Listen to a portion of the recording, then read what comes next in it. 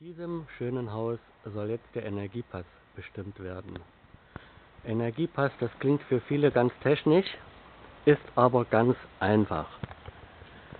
Ich habe das hier mal vorbereitet. Wir nehmen uns als erstes die Energieabrechnung und schauen nach, wie viel Kilowattstunden wir im Jahr verbraucht haben.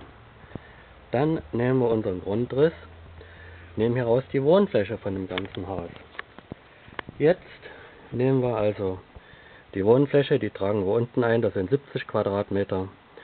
Als Energieverbrauch haben wir 7000 Quadratmeter im Jahr, 7000 Kilowattstunden im Jahr, nicht verwechseln, verbraucht. Sondern ist es ganz einfach, wir teilen also die 7000 Kilowattstunden durch die 70 Quadratmeter und kommen auf 100 Kilowattstunden pro Jahr. Dann heißt, den Pfeil müssen wir dann hier machen bei der 100. Und zum Vergleich, 40 Kilowattstunden pro Jahr sind ganz gute Häuser und 300 Kilowattstunden pro Quadratmeter und Jahr ist der Berliner Altbau.